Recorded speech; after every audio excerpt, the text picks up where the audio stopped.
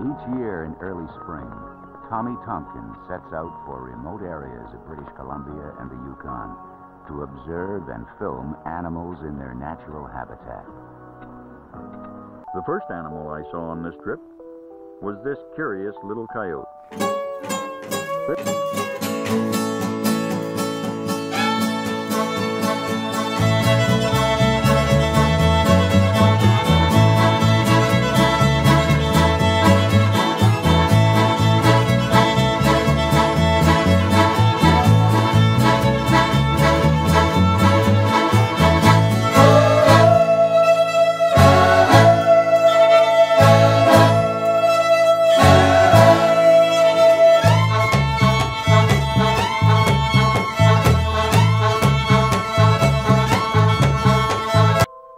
This is, I guess, one of the most exciting times of all my travels is when I run into the grizzly bear.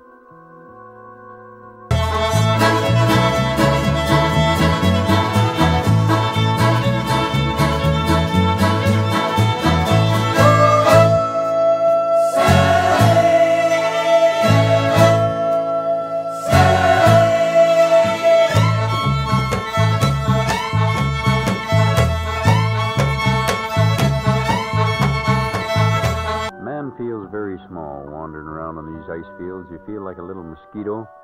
The country is just huge.